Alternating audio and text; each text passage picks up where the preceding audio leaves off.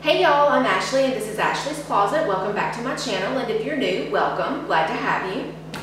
So today I had originally planned on doing a show and tell. I ordered wool, let me back up. So Dooney has a sale going and so I had been wanting the um, domed zip satchel and I went ahead and ordered the mauve or the light mauve. Um, it came in and the foot was floating around in the bottom of the um, plastic wrap bag. So I sent it back and I ordered a second one and it came in and it was understuffed and therefore misshapen. I was like, really? Seriously? Like, this isn't going to be a Dooney rant by any means, but I have not had good luck with their Saffiano leather bags.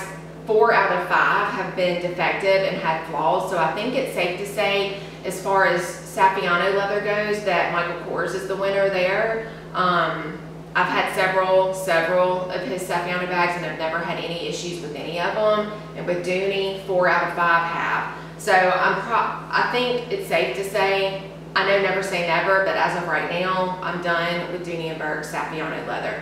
Now, with pebbled leather, Dooney and Bourke takes the cake. And so today's video is going to be a review on this Dooney and Zip Zip Satchel. This is in the color Aqua. Now, I've already did my unboxing on this bag. I did it a couple of months ago. I think I got it during the winter, no, the 12 Days of Dooney sale. And I, I got it for stupid cheap, like 40 or $50. Um, great savings combined with points, loyalty points that I already had. So Anyways, but I wanted to give my review. I know there's a lot of QVC videos out there on this specific bag. I know that this specific bag is very popular, has been for decades with the company. Um, this is not the first zip zip I've had um, from Dooney and Bourke. This is the, I think, third. And I'd already went over this in my unboxing. I originally had the spearmint and returned it and then I got the mint. I think this was back in maybe 2015, five or six years ago. And I carried it for a while and then I sold it. So um, as I've already said, I'm notorious for buying a bag and then not keeping it in my collection and then selling it because I generally, after I've bought a bag and worn it a couple, uh, couple of months, excuse me, my nose was itching, I don't go back to it. So anyways, but I just wanted to give you my thoughts on this bag, some pros, cons, and whatnot. So again, this is the color Aqua. I think this bag is still available in this color. The last time I looked on the website, which was last week, it was, and they may even have mint as well. Um, oh, anybody that did want the spearmint, I know that was a hot, hot color that they couldn't keep. Like it would sell out like in the shows, the QVC shows as of yesterday, I Love Dooney has the Zip Zip in Spearmint for 30% off, I think is what it was. So if anybody did miss out on the Spearmint color, as of yesterday, you can get it from ilovedooney.com. Um, anyways, but this is the color Aqua. I do wear the strap. I kind of had the same feeling that everybody else or most people do on the strap. I kind of wish that they would redesign this and put the strap hooks here and just not be able to zip it all the way down, I would appreciate that. It is not a deal breaker for me though. Um, I mean, they say, you know, the idea is to keep the straps down when you wear it on your shoulder, but I don't. I mean, it doesn't bother me having the straps up. It just, I don't know. It just doesn't really bother me. It's not a deal breaker for me. Now, um, this one is shoulder um, long shoulder. You can't wear it as a crossbody. Four feet on the bottom. It's got the Sierra or russet trim on the handles, trim, zips, tabs, strap. Nothing on the back. And then of course the gold plated logo for Dooney. I keep mine zipped right about here. It gives me just enough room to be able to open and see. In it, I have my keys, mask. Oh, let me just tell you real quickly, this is the most comfortable mask. This is not um, about masks, but this is the most comfortable mask I have found. It is the brand Kitsch, K-I-T-S-C-H.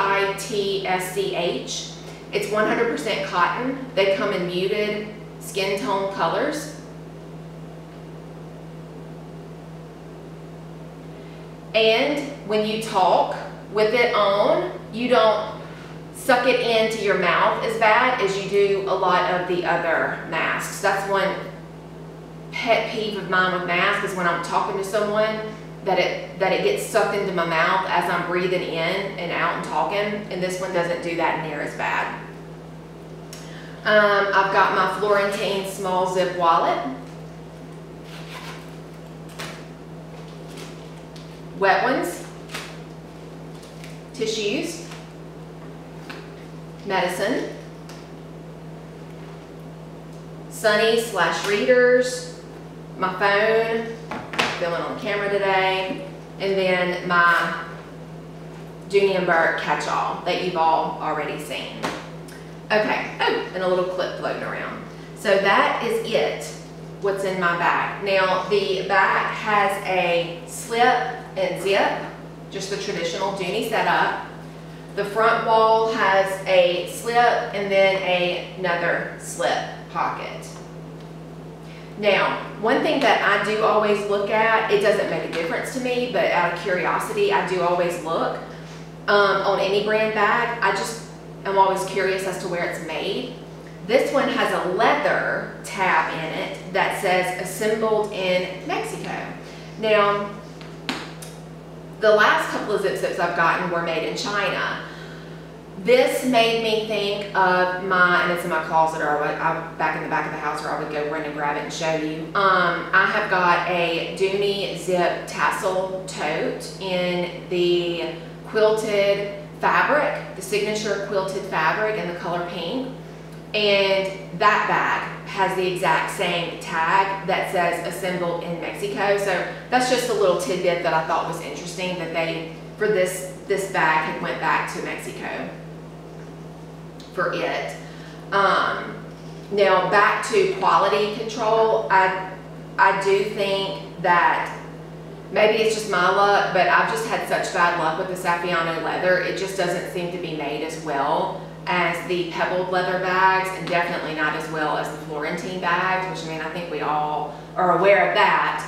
Um, but like I said, as of the time being, I'm done with Dooney and Saffiano leather. But I could never write Dooney and Bourke off completely. Like I've said many times in the past, Dooney and Bourke is my favorite. It is my first love of handbags. The first designer, contemporary designer brand bag that I got was Dooney and Bourke. My daddy bought it for me when I was 19. It was the Dooney Doodle um, sack shoulder bag in the color pink. So Dooney and Bourke will forever hold a special place in my heart and they will always be my number one. Um, so please don't mistake what I'm fussing about for the Saffiano as me ranting on the company in general. I personally am just not happy with their Saffiano um, products, personally. However, I love their Florentine and I love their pebbled leather. And their pebbled leather is what they started with. So I don't know. I mean, I know bags are going to have flaws from time to time. Um, it's just the nature of it. But four flaws out of five is just a lot, and two in one week is an extra lot. So, anyways, but I, you know, I have more pros on this bag than cons. It's a good, true, medium-sized bag. It holds more than you would think. To the eye, it's very deceiving. And it's easy to get into, which this is the way I carry it the most on my arm. I think the aqua color is great. Um, it's just a pretty true mid mid tone of aqua.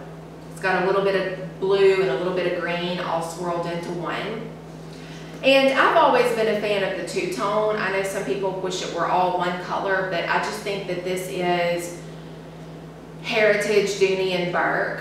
Um, to me, it's kind of what separates them from some of the other brands. Like you can look at this and you know it's Dooney and Bourke.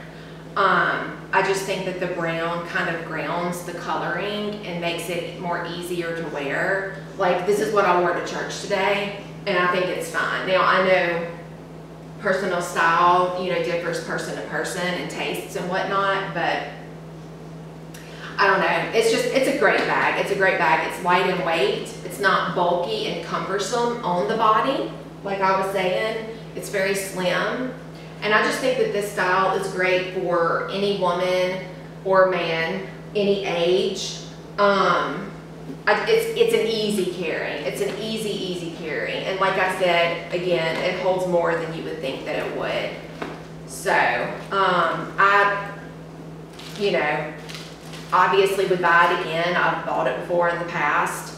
Um, in fact, I'm getting ready to go to the beach in a few, in two weeks. And I was thinking the last time that I did go to the beach, um, I, I carried this bag. It was in the mint though. I was looking back at pictures of it and, and all the little pictures. I've got my little mint zip zip on my arm, um, like I'm something special. but um, anyways, but yeah, if you have any questions about this bag, please leave them in the comments below. Um, thank you so much for watching today. I hope you enjoyed. Please don't forget to like and subscribe. And I will see you next time in Ashley's Closet. Bye y'all.